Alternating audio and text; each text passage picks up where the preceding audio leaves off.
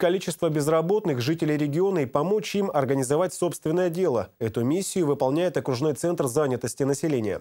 Программа по самозанятости действует уже три года. За это время начальный капитал на открытие бизнеса получили порядка 30 человек. О том, кто воплотил свои мечты в реальности, расскажет Алена Валей.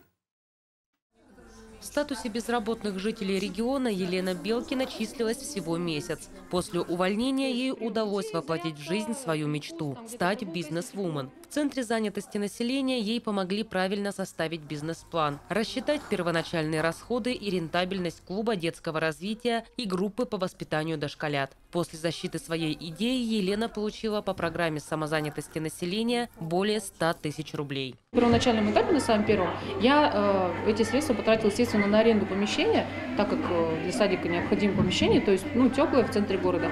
Я потратила на аренду, на интерьер, на мебель и, ну, естественно, на игрушки. Ну и там немножко что-то на канцелярию, то есть чтобы детям было чем заниматься. Цветная бумага, карандаши вот и тому подобное. Клуб детского развития существует уже год. За это время появились постоянные клиенты. На вопрос, возможно ли самостоятельно открыть свое дело, Елена без раздумий ответила нет. В наших здесь условиях это нужно иметь либо первоначальный капитал собственный, что вряд ли у кого-то из молодых людей, которые хотят открыть свое дело, есть.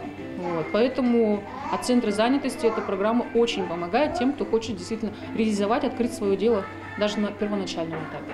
Сейчас дети посещают группу только полдня. В планах открыть полноценный детский сад. Свой бизнес-план по открытию в городе массажного кабинета защитил еще один экс-безработный – Валерий Чумаков. Денежную поддержку от Центра занятости планирует потратить на покупку необходимого инвентаря – стола, масел, полотенец и пледов.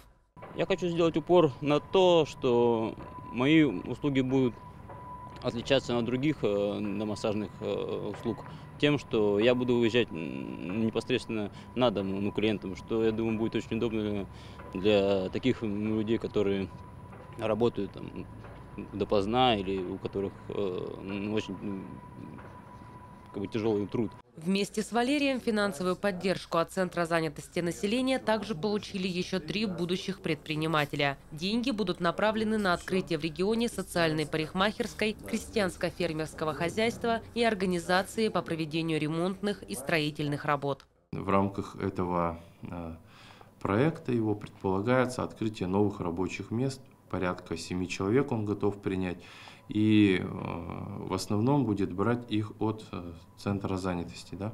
В том числе готов рассмотреть вопрос о трудоустройстве граждан с ограниченными возможностями здоровья, что для нас тоже важно.